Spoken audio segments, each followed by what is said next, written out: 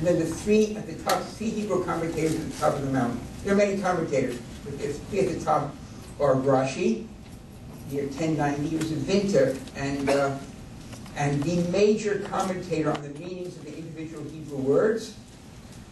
Uh, that would be 1090. A hundred years later, in 1190, Maimonides, and Maimonides, uh, that's the, guy for the perplexed, in which he makes that statement that I just read. And he also says, if you want to understand God, first place you have to start is with nature. Said, you can't, it doesn't mean how you run your life. That has to be very clear. You don't need to know nature to how you run your life. But if you want to know how God interacts in this world, he says the reason that the Torah, that the Bible starts with the creation sentence, is chapter 1, the creation chapter, is because that's the physical creation of the world. And to understand God's interaction in the world, what you need is understanding nature. And then from there, he calls it, he calls it in Hebrew, Madat Elokut and Madat Teva, the science of nature precedes an understanding of the science of God. The science of God is what some people call uh, Kabbalah. It's the spiritual physics of the world. Kabbalah is not mysticism. You can get a mystical experience with Kabbalah. Kabbalah is the deep workings of God within the world. And if that doesn't give you a spiritual, you know, zets for your body, then you haven't studied, you haven't understood what you. So the uh, so ancient commentary, that would be Maimonides in the year 1190, Rashi 1090, Maimonides 1190, and then Nachmanides, Ramban, Nachmanides with an N, very similar names, in the year 1250. And he is the major Kabbalistic commentary on the Torah. He's the top of the mountain, on the Torah itself. And uh, some of the things that he teaches are easy to understand and some not, but that, those are the sources. So all, long before any, any supposedly scientific understanding of the world be a concept. So with that, that background, try to understand what, one or two of the easier problems uh, with which to deal. And one I'd like to deal with is a bit of, of on evolution, and the other would be uh, the age of the universe.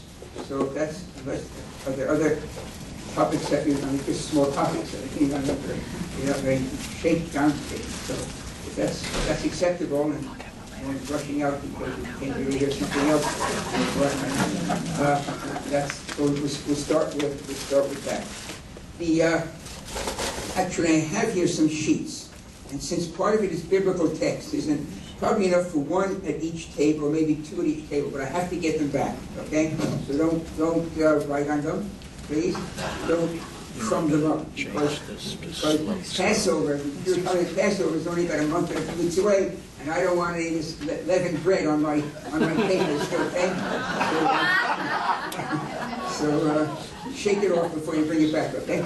So, so they should all be the same. They're all copied on two sides. I can leave one copy here eventually if anybody wants copies because I've, what I've done is I've, I've crossed out many of the all, many of the mistranslations. The problem with every translation is the translator has a spin. You, just can't because no one language translates perfectly to another. Okay, so somebody crossed out some of the more obvious mistranslations, and uh, I just, just I would suggest take not more than two at a table. If there are only three persons at the table, just take one for the table and look over the shoulders. And they should all be the same, copied on both sides. Uh, so take one for just pass back. I apologize, I don't have more. And again, I have to take them back at the end because I, I do need. Uh, I have a few more. If you run out back there, I, uh, this one more back. So, so the uh, topic that I'll start with is, as I said, the age, the age of the universe. And to understand the age of the universe, and I'm told I can write on this board on this wall here, so they say like that's like like Daniel, right? Writing on the uh, on the wall. So uh, I, it's too small. It seems be sure to uh, to correct me. Uh, raise your hand can't head for a great one. The uh, if I if I want to understand the age of the universe from a biblical point of view and a science point of view, I have to know the numbers to begin with. If I take the biblical text, the Hebrew Bible, and I add up all the generations from Adam through the five books of Moses, and then King Solomon, etc., after to the end of the biblical text. So I get a number, because the ages are given. And then I add the, the secular rulers on after the kings, the queens, the pharaohs, whoever they happen to be, and I get to a number that's less than 6,000 years. I think the number at the moment, there's some question, of plus or minus 200 years, but the, the number that we understand at the moment, most, most persons would be 57, 72 years. Okay? Would be the Bible data. And that number, as I say, is gotten by adding up the generations. We see the, and we get, at the end of the text, we get to a number that doesn't even reach 6,000 years. At the other end of the scale, so I've never had a wall like this to write on it. This is really what Daniel, what Daniel had going for him. No wonder it could only be my book. We get a uh, we get something called a creation, partly called the Big Bang. Now the term the Big Bang does not include within it what made the Big Bang go bang. That's very clear. It does not. I say, it does. The term the Big Bang does not say what created the universe. The term the Big Bang is just a secular way of saying there was a creation. Because you can imagine, if a secular, a secular scientist who thinks of things like the, you know, the last thing you want, and he has to say creation, the universe created, sounds like, what does it sound like? God, yeah, God forbid. So we use the word, we use, we, we use the word instead, the Big Bang. It was coined by Fred Hoyle, during the origin, of Fred Hoyle, who was an avid, avid believer in an eternal universe. Until he made some phenomenal discoveries that changed him totally. Because God is in the details. That's what just wells up. And Fred Hoyle was being, then became Sir Fred Hoyle. He's the person that discovered how the elements are formed within the, the pressures of the stars. The Big Bang didn't produce carbon, didn't produce oxygen, produced energy. And Einstein taught the world that energy could metamorphose and become solid matter. But it didn't become the heavier elements, initially just hydrogen and helium. Hydrogen is maybe uh, good for making water. Yes, you got oxygen, you need oxygen also. And the heavier elements are made within the stars. It was Hoyle that discovered how to do how that happened. He became Fred Hoyle. In the 1950s and into the 60s, he was among the, the large group of scientists the overwhelming majority of scientists, in fact, you can, you can look up surveys on the web that go back 50 and 60 years, asking scientists, persons who are active in, the, in, in astronomy, cosmology, thermodynamics, the age of the universe, and the split was usually, that I have seen, is two-thirds of the scientists held by the fact that the universe is eternal, the Greek view of the world. Only one third felt, felt, third felt that the Bible got it correct, that there was a creation. They didn't necessarily believe in God, but there was a creation. Hoyle was in that group of persons that felt the universe was eternal. And he was being interviewed on the BBC, the British Broadcasting uh, Corporation radio program, and to give like little, you know, little zets, we say in, in, in to the to Hoyle, the interviewer said, well, Professor Hoyle, what do you think about those persons that say the universe had a creation? And he said, ah, I think it was some kind of a big bang. The press picked it up since that time we've been using his term. It was coined, we think, almost certainly as a term of derision, and it became the term that we use still today. Hoyle later discovered the nuance. The, I don't, we don't have time to get into all of these things. I have a website that I deal with with some of the, the aspects, but uh, Hoyle later discovered how it was possible within the pressure cookers, the centers of the stars, to form the heavier elements we just take it for granted that we have these elements, but there are major stumbling blocks in how, how the elements get built from the smaller to the bigger. Hydrogen is number one. Helium is number two. But then you got to get lithium, beryllium, put up the table, and they build together like Lego blocks, but huge pressure, because you're pushing the nucleus, the centers of these of these atoms together. And if anyone's worked with two two magnets, you ever try to push the plus and the plus together? You uh, literally cannot they always slip apart. The minus and the plus go right together, no problem. But to put the plus to the plus, it's impossible. We multiply that by approximately a factor of a bit of a million, and that's the forces that it takes to get two nuclei to come together, because they're both positively charged. You get to the next element by adding the previous one onto it. Well, uh, Hoyle discovered how that happened. He became first Sir Fred Hoyle, and at that point he changed his understanding, and he said there's no, there's no possibility in a logical understanding of the world that this, these laws that allow this to happen are by chance. His words is, he said, some super intellect has monkeyed with the physics as well as the chemistry and the biology, and, and it's totally says, illogical to think that it could happen by chance. It's the, it's the tuning of the universe for complex life. So we have a creation here, and the line now has an end, because we've discovered, thanks to work with, with the Keck telescope in, in Hawaii and the Hubble telescope in space, that the universe seems to be about 14 billion years old. I'm using American terminology, nine zeros. 14 billion years, needs to be the science data. And we get that number by looking out into space, and we see that the galaxies are all moving apart. And we can actually measure the rate at which they're moving apart. So if, if, the, if the galaxies, like these two galaxies, are this separated, and then they move to this next year, and next year, next year, if we know the rate that they're going out, so just change the equation to a negative instead of a positive this year to last year, from billions of years ago to billions of years ago. We look at the rate of expansion of the universe, if we run the equation backward in time, it takes in the order of 14 billion years for everything to come together into a great burst of energy called the creation of the universe. So that goes to, those are the data with which we work. We're trying to understand how we can have one reality, the age of the universe, viewed from two vastly different perspectives and both being literally true. How? Without bending the Bible. So the first thing we have to understand is the biblical calendar. We see how we get this number, but the question is, where does this number begin? From what phenomenal event in the history of the universe happened on the biblical new year called Rosh Hashanah? Rosh means head, Ha means the, Shana means year, the head of the year. The biblical Hebrew, uh, Hebrew Bible's biblical new year, which occurs in uh, September, October. Go back 57, 72 years, and does anyone know what the origin of the biblical calendar is? What major, major event in the history of the universe? Adam. Beg your pardon? Adam. No? Yeah? Adam, yeah. The biblical calendar begins with the creation of humanity. It's very interesting. The Bible's calendar begins with the first of the human being. Day zero in the calendar is here. We don't have a lot of time this today to get into all the nuances here, but the calendar then would say the following. But if you look at the text, Genesis chapter 1 is broken into six days. There are 31 sentences. By verse 26, we have Adam. And by verse 27 of those 31 sentences, we have the creation of Adam.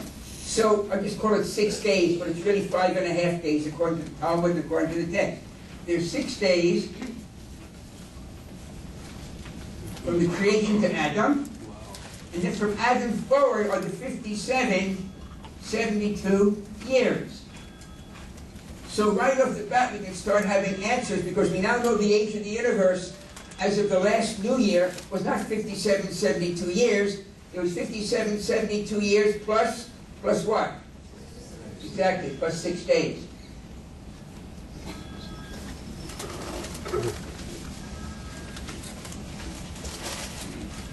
Okay, the bells are ringing for me and my gal. Yes. I hear ringing. Uh, so the calendar is split into two parts. Now, why would that be the case? Because if you look at the text that's in front of you that I passed around, you notice that at each day, and again the translations are not great, but we'll just go with it because of the timing, that at each day, at the end of each day, like verse number 5, there was evening and morning one day. Verse number 8, evening and morning a second day. Verse number 13, the third day, a fourth day, a fifth day, the sixth day. For the entire passage of the six days, the description of time is totally independent of human activity. Have mentioned their day, day number six, but, but the passage has totally related to evening and morning day one, evening morning the second day. Only in chapter 5 of the book of Genesis does the calendar begin again. And it begins with Adam, it says Adam and Eve lived 130 years, have a child named Seth. It's about chapter 5, verse 2 or 3. Adam and Eve live 130 years, have a child named Seth. Seth lives 105 years, has a child named Enosh. From Adam forward, every passage of time is related to humans. There's no passage of time in the Torah after that that is not human-based. So there are two calendars because the, because the description of time is totally different. Here we could call this almost cosmic time. You know, no relationship to the earth necessarily, it mentions the earth eventually, but no, no intimate relationship to it, just the same phrase over and over, evening and morning, which is a defective phrase, but I, I of course, at, the end, if we have time, we can get into it, see how, how the time goes, the activity. So have a break here. Now, I, I can't get off the track on Adam and Eve and humans, uh, other than one aspect here. If you look at the text, because persons will say, well, I went to the museum and I saw people going back 50,000 years and 70,000 years. And pottery, we know, was invented 8,000 years, 9,000 years ago. And, and farming, right, right in my hometown, Jerusalem, but further north where Israel and Syria touch, 10,000 years. You know, I've been to the museum, so what are you telling me the first people are 57, 72 years? There's a nuance here that I want to go, go hit on, on, at the moment and then jump to the age of the universe. But just to get this out of the way one or two sentences. Please look at verse number 26. On the side of the page has wisdom written at the top of the page. Verse number 26 says, let us make Adam. The mistranslation is crossed out. not Na'aseh Adam. Let us make Adam. Interesting. I jump to verse number on the second side of the page. Verse 27 says, so God created the Adam. The English misses it totally. That's the problem. I urge you, if you don't know Hebrew, you're trying to understand the, the Hebrew, the, the Hebrew text of the five books of Moses, get at least five translations. I say seriously. And whenever there's a difference, you'll know that they're wrong. Because if one was right, you wouldn't have the others. And it's such clear logic. So the Hebrew, the English misses totally, because you notice under the crossed out word, it just says God created humanity or mankind. No, verse number six says, not let us make Adam, not say Adam, but verse number 27 doesn't say God created Adam. It says God created the Adam, et ha-Adam. I, we have to, be, especially with Purim coming up, I have to give it the name of Peggy Ketson.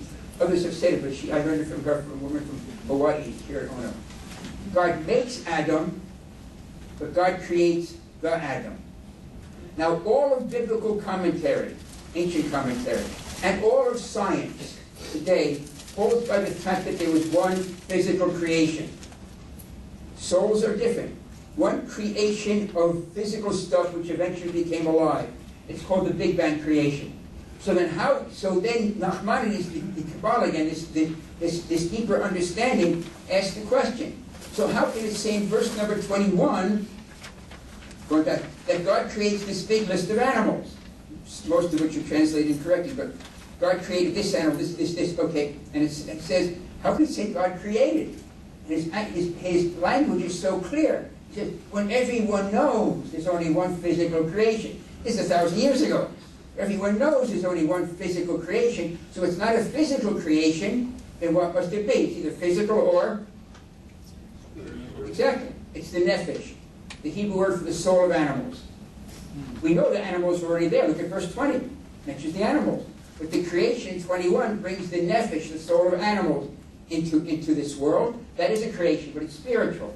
And verse 26 gives us Adam. Let us make Adam. So why do I need the creation of the Adam in verse 27? The neshama, the Hebrew word for the soul of humans. All animals have a nephesh. Only humans have a nephesh and a neshama. The nephesh says, cheat in the supermarket, throw your garbage in the street, cut in line. The neshama says, yeah, you mind? You're a human being. Other people, you want to get in line, and they get the last seat in the bus, get up earlier. They get up before you. They get the seat. You forgot. The nephesh said, yeah, never mind. I'm not going to stand. It's a five-hour bus ride. You know, I'm going from uh, Tel Aviv down to Eilat. I'm not going to stand in line. And then the nephesh said, the good news is there's two seats left, and I'm number, si I'm, I'm number six, four the people ahead of me are cripples. I no problem. Just put them out of the way. The nephesh says that. Every human being has it in them. And the neshama says, you want to get on the bus? Get up earlier. The nephesh and the neshama fight all the time.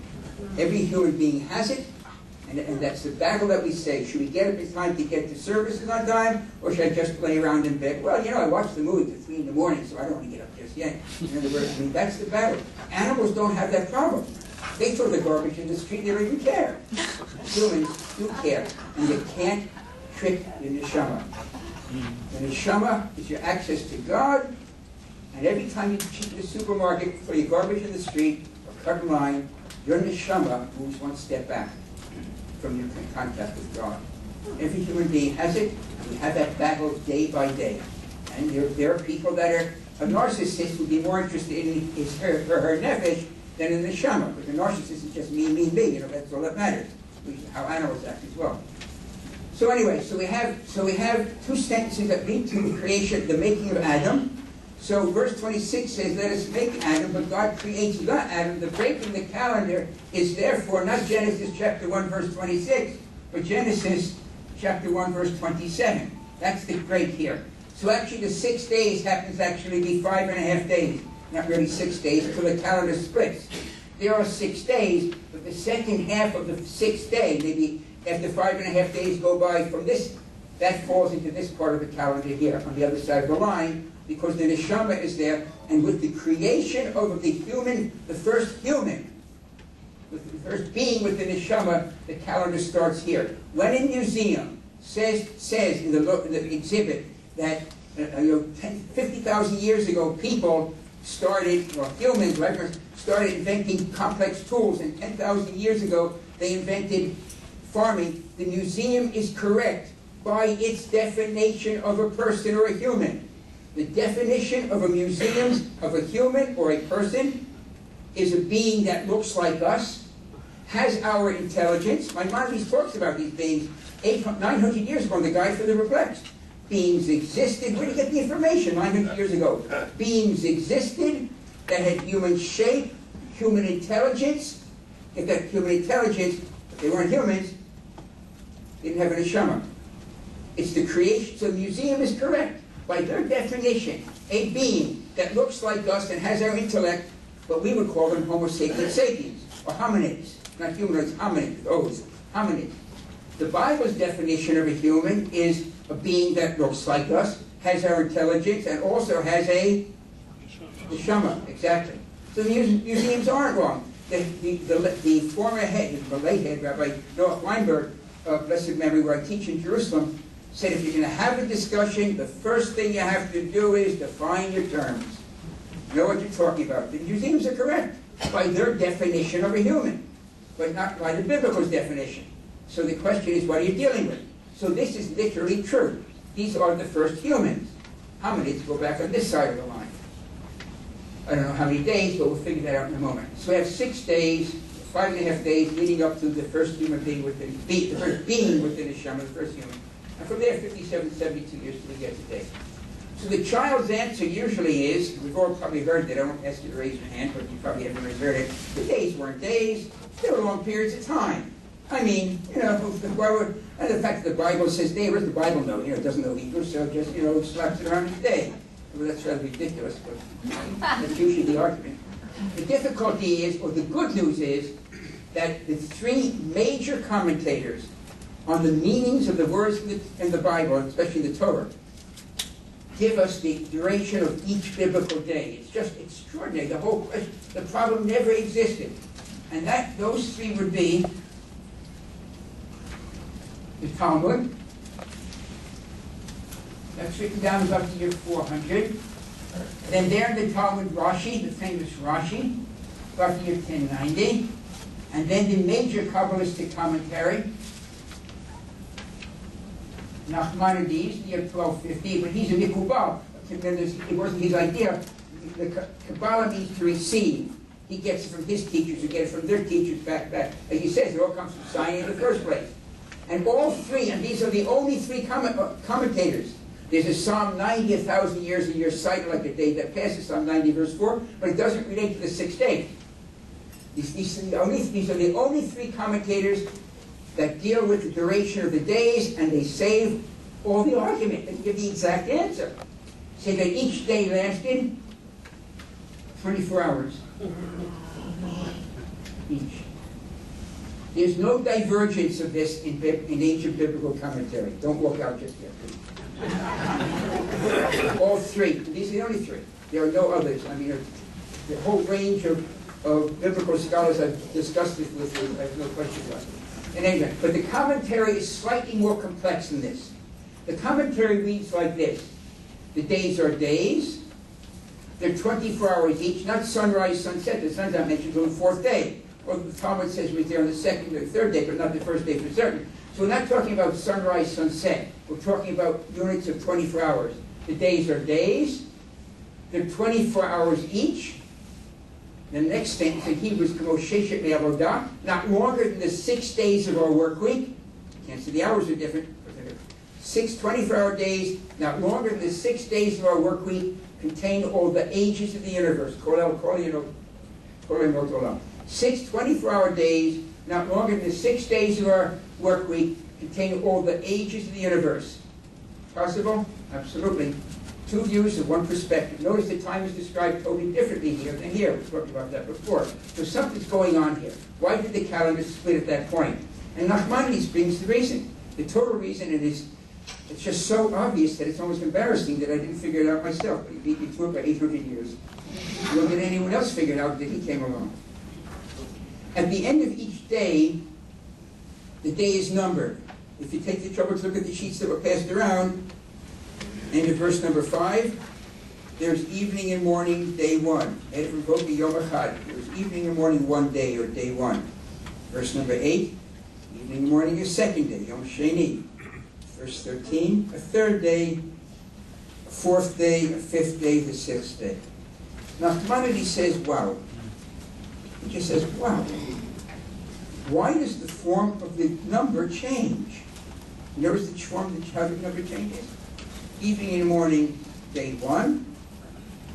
Or not evening and morning, the second day. I mean, not even morning, day two. It says a second day, a third day. Why does the form of the number change from the absolute one, Yom Echad, one? Why didn't it say first? A first day. There's a second day, a third day, a fourth day, fifth day, sixth day. I mean, why not give me a first day? And we're told by Nachmanides, by others as well, but Nachmanides, that the Torah could not write a first, there was evening and morning, a first day on the first day, because the only time you can write first is when it's relative to a, a second. And there hadn't been a second day on the first day. Now that's kind of interesting, because I give Nachmanides the benefit of the doubt, and I think he read the Bible a few times. So he knew the Torah wasn't given way back here, the Torah is given, the Bible, you know, the revelation is on Sinai, right? To Moses. Way out here on the timeline. Not the scale up. If I add up all the generations from Adam to Moses on Sinai, which I can do, they're all in the text, the number comes up, it's a quite well-known number in biblical uh, uh, uh studies. It's 2,448 years from Adam to Moses on Sinai times 365 days a year comes out to be approximately just under 900,000 days. Why is Nachmanides telling me that in the second day? By the time the Torah is given on Sinai, there have been hundreds of thousands of second days. And where he makes the breakthrough. If the view of the Torah, I'm going to say Torah, the five books of Moses, if the view of the Torah for Genesis were from Sinai looking back, the Torah would have written there was evening and morning of first day. Because by Sinai, there had been hundreds of thousands of first days, about 900,000 of those days. If the view were from Sinai looking back, the Torah would have written there's evening and morning of first day. But Nachmanides writes the fact that the Torah says day one is because the Torah sees time from the only time in the history of time when there hadn't been a second day and that's on the first day. Why should that have interested a, a biblical, a theologian, almost a thousand years ago? See time, we see, what we, see time where it doesn't matter, time is time. I mean, that was one of uh, Newton's, the only, I think the only mistake Isaac Newton ever made in his Principia Mathematica. He says time stands pristine, unaffected by events. Beautiful statement, but wrong. We look back in, in time from uh, up to Adam and we see 14 billion years.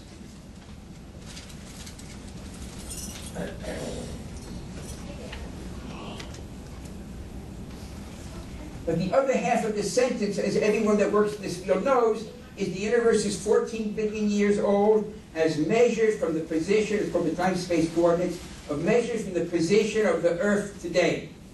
That's the other half of the sentence. Make the measurement of the age of the universe from any other perspective, you get a different number. We just say 14 billion years old because that's how that's we live, and those years went by. But any other location in the universe would give you another give you another number. 14 billion years old as measured from the time-space coordinates of the Earth. The Torah, the Bible, doesn't does it for the six days of Genesis. Says day one because the Torah says we see that we we uh, as Nachmanides points out that day one is time from the beginning, looking forward. How old is the universe? Oh, about six days. We look back in time, the billions of years went by. We live in that time. But how would it be perceived? The operational word here is perceived. How would time be perceived from the biblical point of view? That's the question that we, with which I'd like to deal now. How would it be? Well, the universe begins as a burst of energy, and the universe then expands out.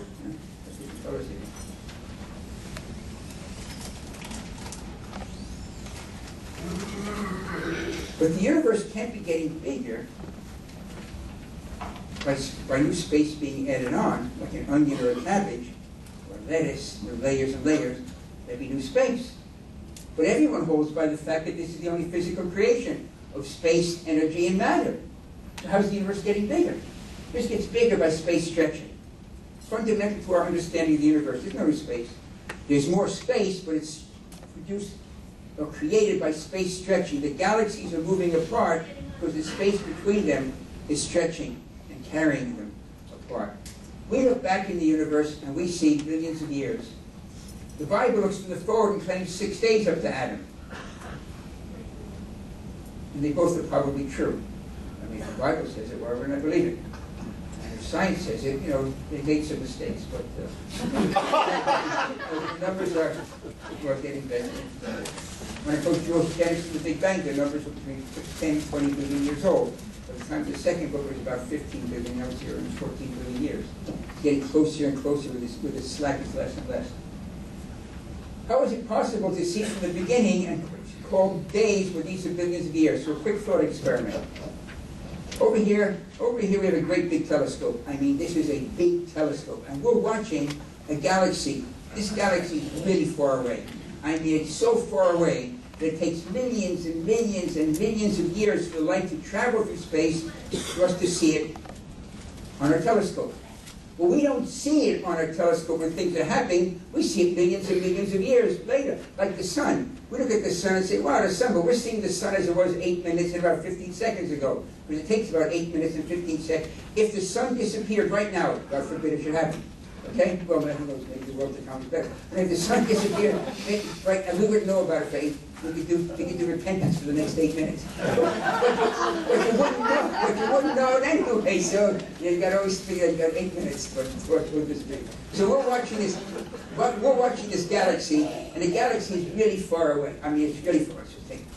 On the galaxy, a star explodes, called a supernova. Huge burst of light. The light goes out in all directions, but let's just talk about the light coming towards us, okay? Super, big burst of energy. Light travels for a whole week, and light travels really fast, like 300 million meters a second, so in a week it's moved a lot. A week later, another star explodes. Two supernovas separated by one week. Amazing. We don't know it yet because it hasn't reached our telescope. Now, so, the, so this one has traveled the whole week of, of, of light speed towards us, then the second burst. And as they travel through time and space, What's space doing? So what happens to the bursts? They get further and further apart.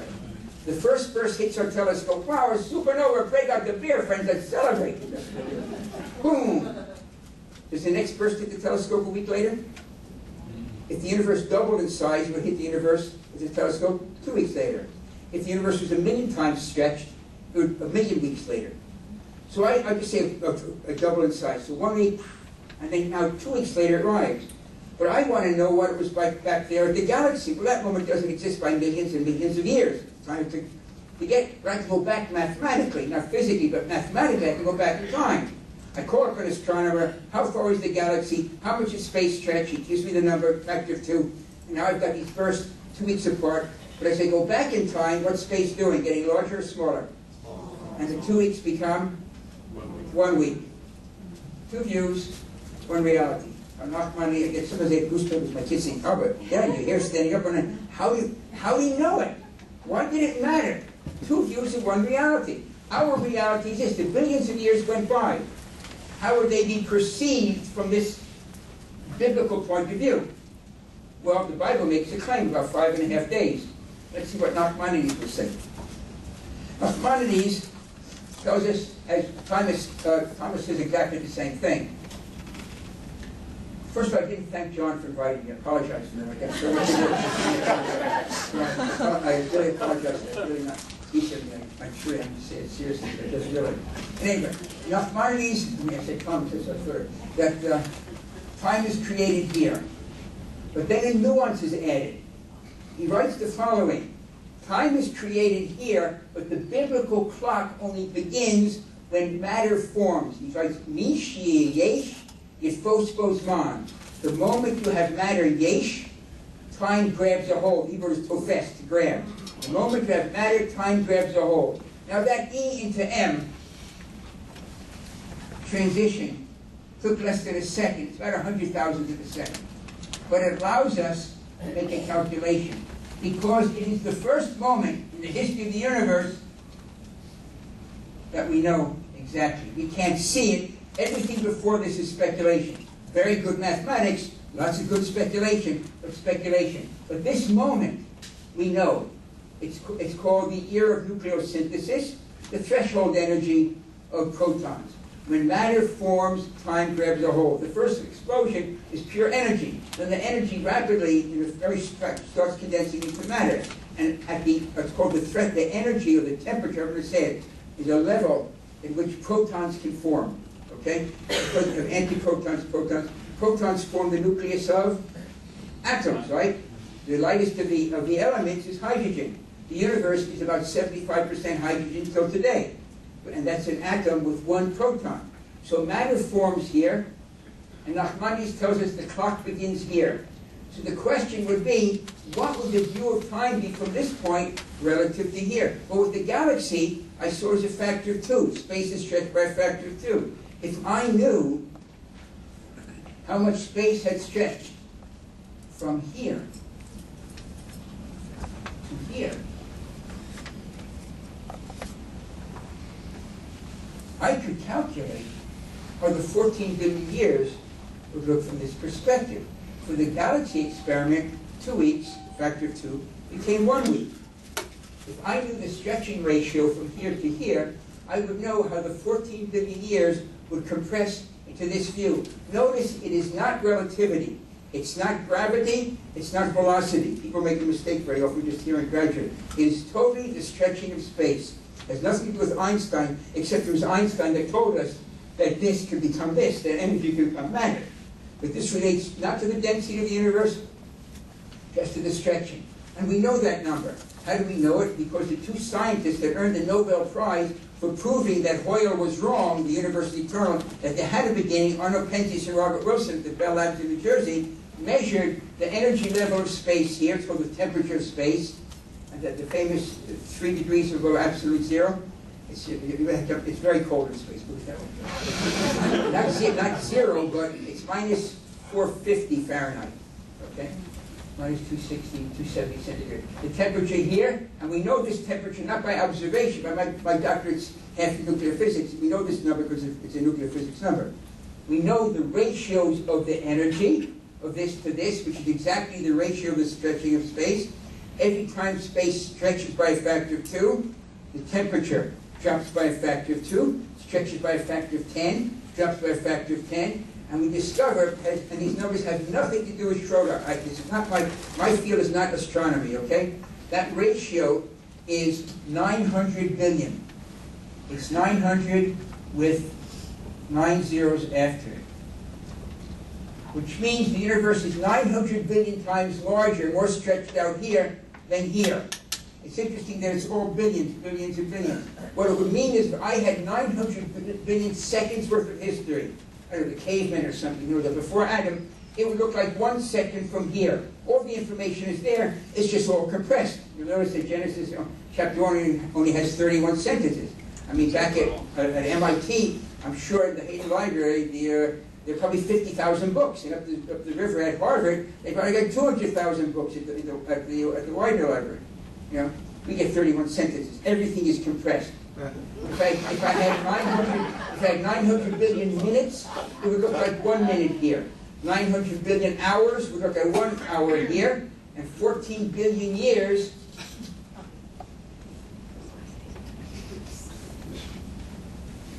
Notice that it's unitless. It's not seconds, minutes, or hours, it's just a ratio.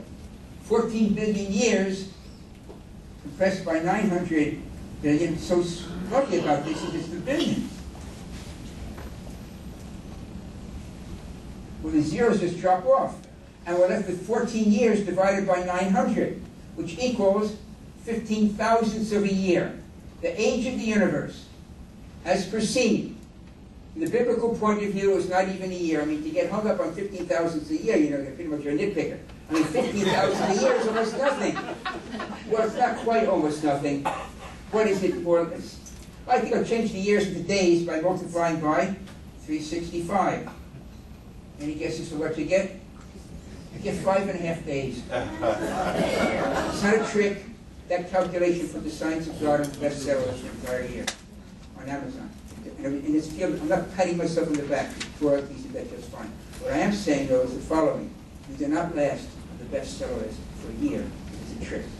The beautiful, the beautiful part about this is the journal Nature. Anyone of the scientists here knows the name Nature. One of the two leading science journals in the world. Has given the stamp of approval to this approach for calculation. They use the identical approach with a different agenda. You should sure the journal Nature is 100% secular. It's got a spin even more pro-secular than not just neutral. But the fact that the journal like that, of that status, peer-reviewed, one of the two leading science journals in the world, says that this is a valid way of understanding the universe, removes from the table that this is not a valid way of looking at the universe. So what's the argument? The only argument of the web that exists at the moment, and there are over 30,000 references to this calculation of the web, is that Schroeder chose this moment to make it work. That's a lie. There's only one moment that worked. I don't know if the people are lying, they don't know me, so they just know me the idea. They say I juggled around until I found the moment that worked. That is absolutely not true. I made one calculation. Because there's no, there's no wiggle room here. You could say there's wiggle room with how long are the days. There's no wiggle room. All three ancient commentaries say 24 hours, but contain all the ages of the universe. And, and the only place where this statement fits, matter forms, is when protons form. Protons are the essence of every the nucleus of every atom. You've got electrons out here and protons. So the ratio is this, and it comes out, in fact, to be five and a half days, which is encouraging because hope the Bible is right, otherwise it would waste a lot of time. Every morning, every morning you pray, it's a waste of time. So uh, we have a few minutes if there are questions on this, so we can move to some, another topic as well, but uh, I, I, am very happy to hear discussions in any direction, yes, no, or you don't but thanks for bringing that. Yeah. Why is not time pertinent to the pre-formation of a nucleus? Oh, why, why, I have no idea why, but Nachmanides makes the statement, when matter forms, the clock grabs a hold. If he had not made that statement, I couldn't make a calculation because we wouldn't know where to put the number. But that's purely opinion. It's not, well, it's Nachmanides. Nachmanides makes the statement. He also said the Torah sees time from the beginning looking forward. That's his opinion also. But it's all based on biblical statements going back a thousand years ago. It's not like it's a modern bending of the Bible. You know, so it, I mean, it predates our understanding of the age of the universe. It is his opinion, but he has a very good track record of being correct, of, of many, many insights into the text. It's called Kabbalah. It's not his, he says these aren't my ideas. He says Kabbalah means I get it from my teachers, I got it from their teachers going back to Sinai. And anyway, uh, yeah, John. In one of your books, you take the six days. You show the first day is 3.5 billion years. Seven. Can you yeah. elaborate that? Yeah, we can, this this is right off the web. If you want, and then the other side is, is, is my overlay on this. Okay, this is right from the web. If you want a diagram of the cosmic history, anyone who's interested in anything along the lines of the age of the universe or anything along that line, I urge you, go to the web, type in NASA, NASA, obviously, this is a good place for that. Like not even what this is called. And then type in WMAP. It's the initials for this satellite. WMAP. NASA, WMAP. It's this, this diagram is, From a science point of view, is probably the most, from a science point of view, the strongest theological statement science will ever make relative to life, God, and you. This is our cosmic history in the universe. The black is nothing, not a vacuum, nothing. Vacuums are in here, empty space is here. This is the creation of the universe. This is the timeline of this direction. The universe expands in all directions. This is expansion over time. There's a burst of energy out of nothing. Out of nothing. Nothing is something of which humans cannot conceive. You cannot abstract space from your thoughts. You cannot abstract time from your thoughts. Just the limits that humans have. Humans are limited. Unfortunately, sometimes they we're not. A creation of the universe, a burst of energy, and the universe expands over time. Every time, to answer John's question, then you get back to this question, and then a few minutes on evolution. Every time the universe doubles in size, the perception of time halves. So if we, if we forget all these zeros, okay, and take the exact ratio, now this is highly rounded off, obviously. Forget the age of 14 billion years, forget it totally. Two numbers that we know with three-figure accuracy. This, this value here of the energy level, I use the word temperature, word temperature. The temperature that would be required from protons and the temperature of space today. We take that ratio, and that would be the ratio at this moment right here, but the universe is expanding rapidly. So the temperature is dropping, so the per- perception of time is changing rapidly. Now, if I move two markers apart, let's say the universe is very small, and I'm moving the markers apart at a constant speed, okay? When is the space between these markers doubling most rapidly? When the universe is small or when the universe is large? When is it double most rapidly? It's not good. Great. Double, double, double, double, double, double, double. It takes long, and remember, it's the doubling rate because you're always going back. Doubles by factor of two, you have to cut the time by factor, cut the factor factor. Doubles by factor three, three. So the double, the ratio, the, the, it's, it's the right way of saying it, the fractional rate of change, it sounds like a too fancy word. The fractional rate of change is most rapid when the universe is small. The numbers that come out of the equation, I have no control over them whatsoever. These numbers are fixed, it's an exponential equation, half, half, a half, a half, a half. I don't plug in 14 billion years, I just take this ratio right here. I'll tell you, when the numbers came out, I me right now. I ran, I was, I literally, I was covered with every quote, you know, was, I ran, I said, Barbara, look at these numbers. The Bible might be true. But it is, it is pretty amazing. The first day has seven billion years. The second day has three and a half billion years. I have that, you have a copy of that essay with those issue. There's a slight correction with which I'm beholden to a, person at Azusa. Azusa is a, uh, a university by California, uh, who pointed out an error I, I was making, not the sign I was making, that the number, these numbers were slightly different. I'm so beholden, and my website, I acknowledge the thanks, and the, in the essay that I, I, I John, uh, I discussed many things. What happens is, the first day is seven billion years, the second day is three and a half billion, half of that is one point eight something. But each day, once you know the duration of each day, you calculate when the day started. That's what I have in, in, uh, in the Science of God. And once you can calculate when the day started and ended, you can see the, the claims the Bible makes. And you can see the claims that science makes. The fidelity, the overlap, at least to me, makes it, I can, I, and it's enough to make you believe in God, in God. And it's really amazing because they overlap.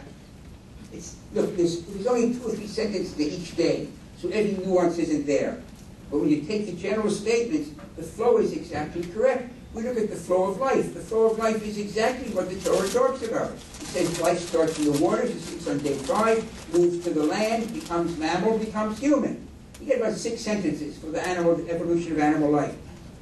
That's exactly the flow that the fossil record shows in 100,000 examples. Life starts on, animal life starts in the waters, moves to land, becomes a million, becomes human.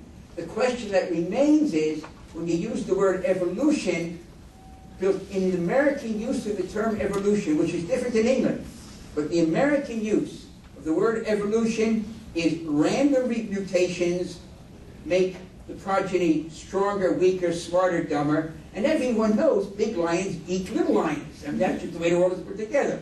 The second half of evolution is not random. So persons that push evolution will say, well, evolution isn't random, it's survival of the fittest, which is a circular sentence also, because how do you define the the fittest? By those that survive. So it's a circular sentence. So that, that's not random. Big lions beat up little lions. But the first part has to be random. The mutations have to be random. If they are not random, the word is not evolution, it's development. Development is different. Development says life started in the waters, developed and became land-based, became mammalian, became human. But it's, it's, it's not prejudicial. It doesn't say God did it, and it doesn't say nature did it. Just said this is what happened. And then you look at the data and you decide whether you really can logically say that life beings became alive. Because that's what NASA holds by. You talk about a theological statement of the universe. This is the only physical creation. All science holds by that. And out of that became things called people. Out of this, this is us here, 14 billion later, so clever it could make a satellite. Light beams learn to make satellites. That's what this state. This is the only physical creation. I can, if I said nothing else the whole time, this you can go to my website and get this calculated right off the board. But this is so phenomenal that the scientific community has accepted the fact that energy, energy comes in of terms, so it's called light beams, that super powerful light beams could change and gradually and gradually and finally become thinking. Where does a, a light beam have the chutzpah to glow? You know, where does it get that? What a blazing light beam.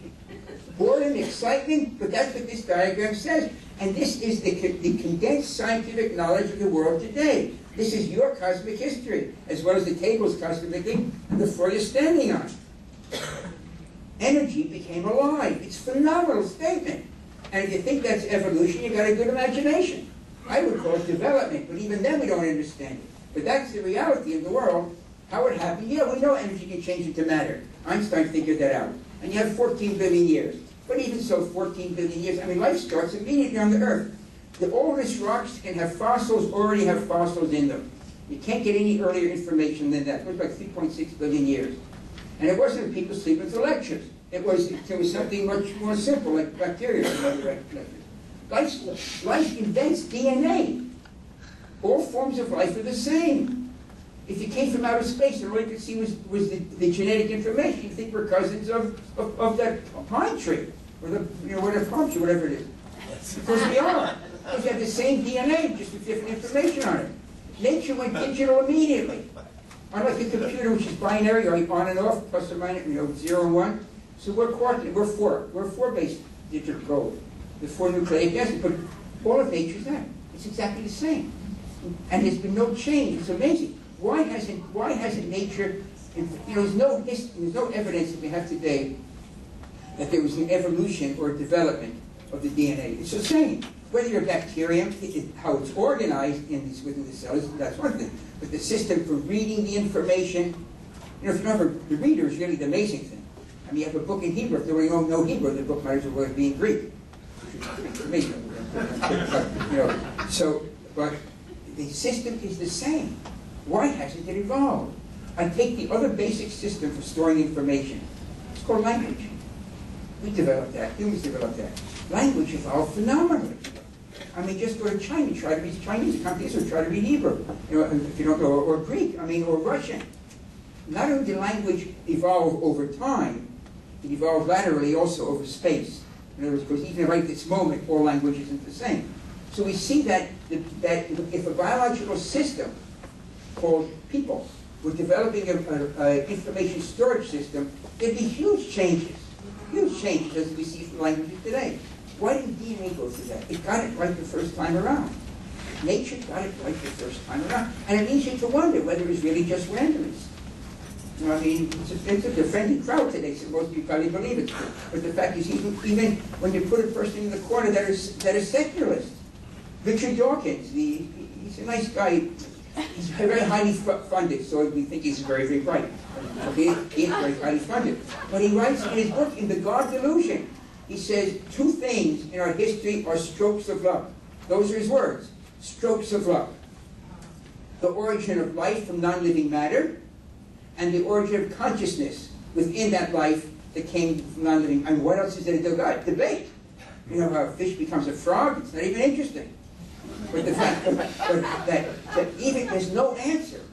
Rocks four billion, a bit under four billion years ago, rocks and water and a few simple molecules became alive, produced microbes. How? I mean, what is a rock? We're about to be, you know, in other and then consciousness in that life. In fact, that's, that's what there's George Wald, and also, I mean, there's major persons who have realized that it's, it's more than a stroke of luck, it's just complex beyond words. Can I go a few minutes? It's after one, so many people have, have, have, have to get out of here. A few more minutes? But I, I gotta get my shoes back. okay, the, uh, in this diagram, just quickly, because just going to touch a little bit on evolution, okay, but just first of all, you'll notice, you'll notice that in this diagram, that the creating force is a quantum fluctuation. In other words, an aspect of the laws of nature. Okay? And this is, remember, this is not, this has nothing to do with me, this is straight off the web. Okay? The, the, what this diagram says is that the laws of nature could create the universe from nothing. And that happens to be true. The idea that we learn in grade school or, you know, early, even sometimes in humanities in, university, that nothing comes from nothing and nothing ever will. And there's a wonderful musical called The Sound of Music, right? And they're singing in the garden, and what they say? Nothing comes from nothing and nothing ever will. It's true related to love. Okay, I've been married for over 30, well, so I can't, can't take love. It takes love takes work, as anyone knows, right? But the, but the, but as far as science goes, it's not true.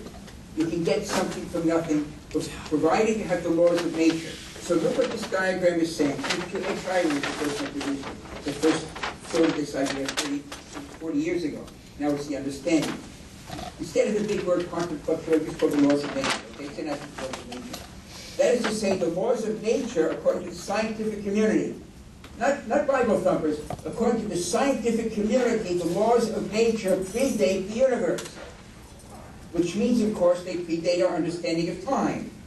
But the laws of nature aren't nature, they're information, they're, they're wisdom, they're, they're an idea, to use the, phys the physics term, information or an idea.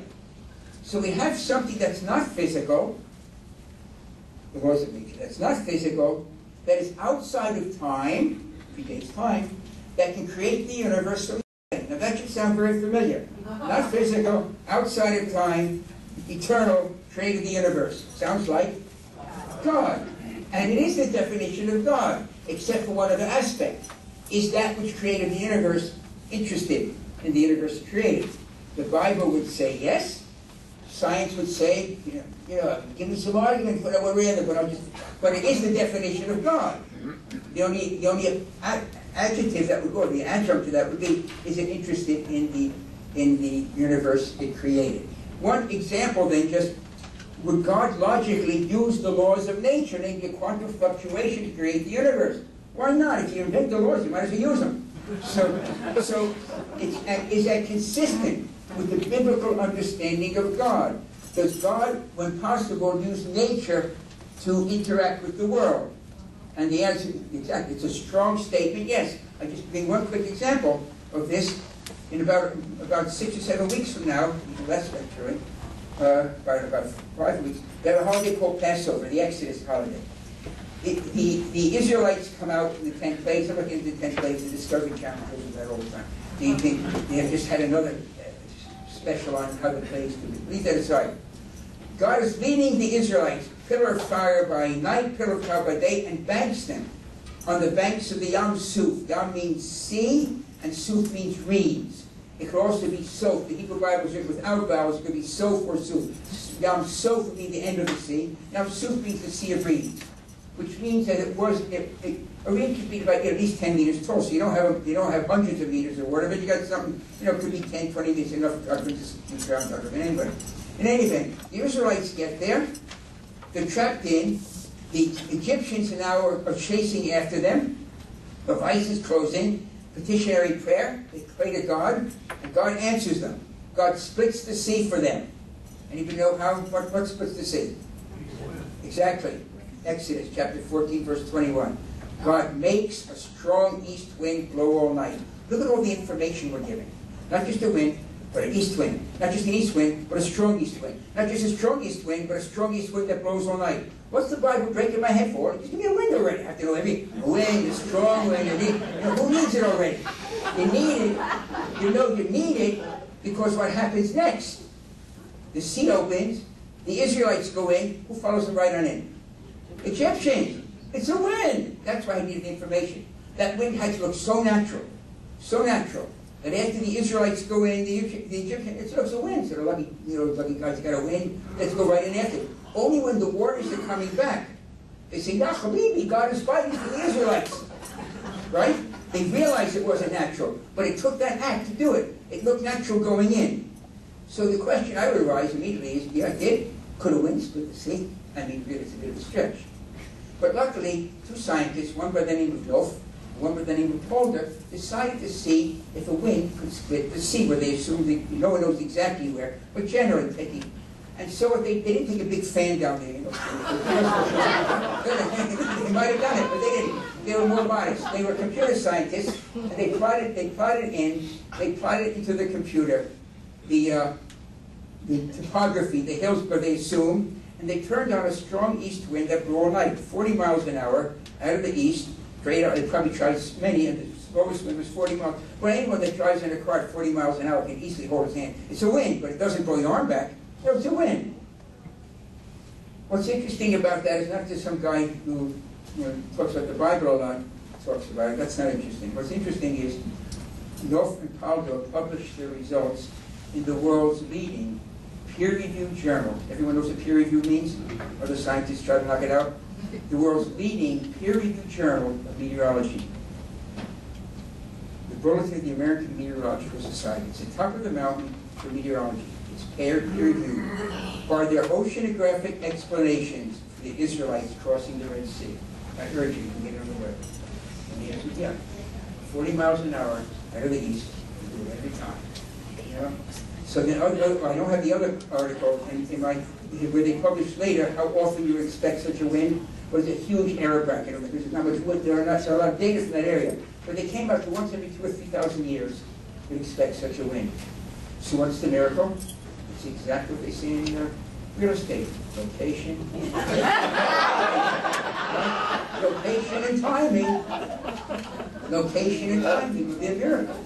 God works through nature. If God wants to use a quantum fluctuation to create the universe, you know, as you say in Hebrew, can you so? Let it be his will to do it.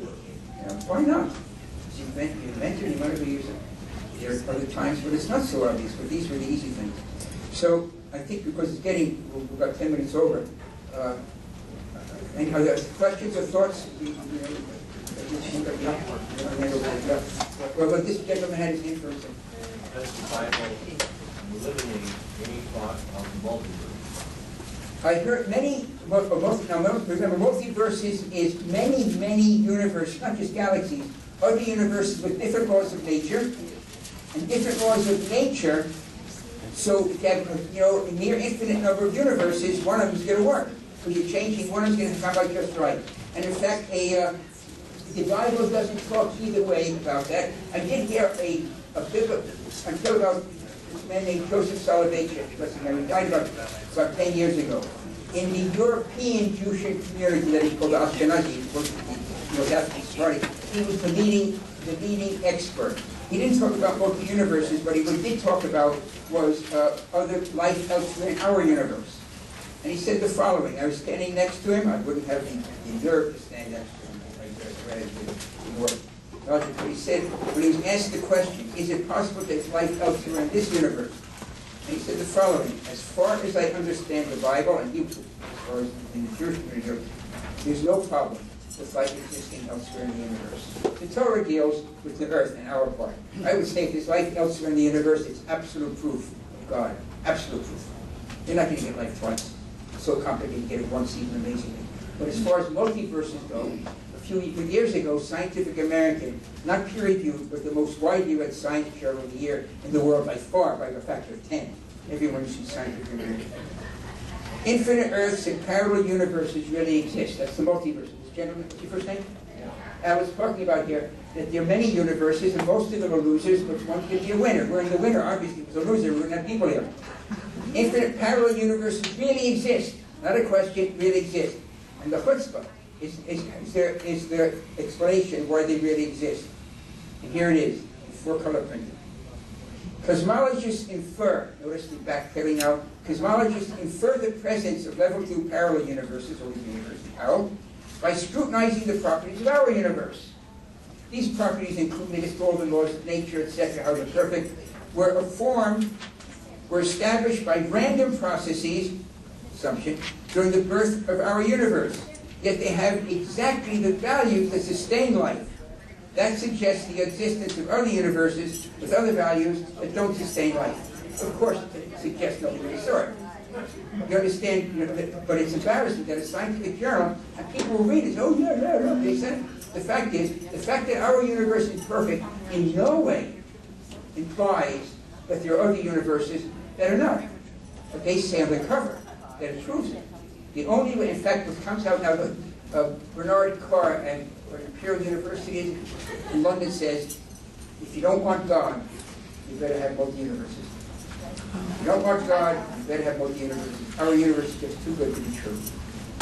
So we're going to take one final question. Well, I'm gonna ask this question, I'm sure it's from Imperial, or we to but, you know, right now, point six, You know what?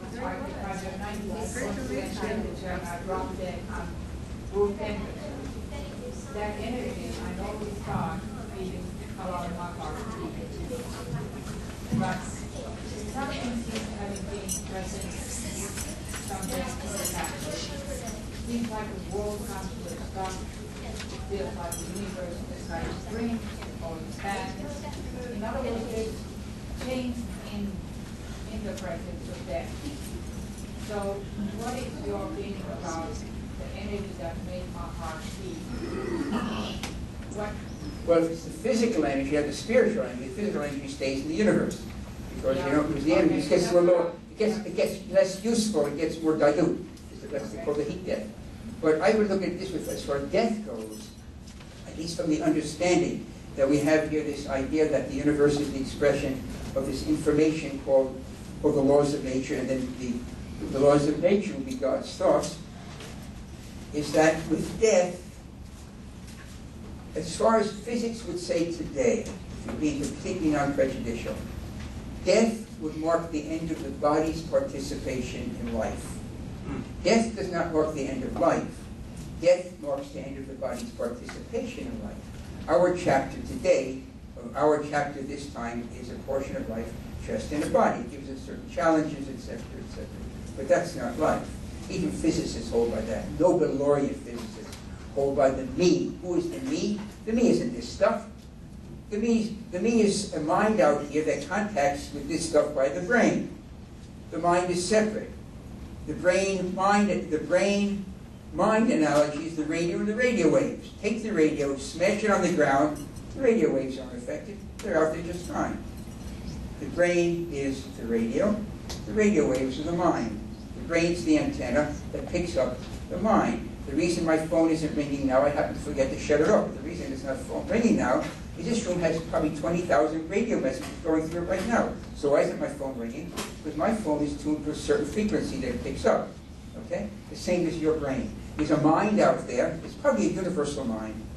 But you're only, your brain is only tuned into a very small part of that, a minuscule part. And that's the part you pick up by your brain, brain's the antenna that picks it up. I think we've got to end here because it's really late and uh,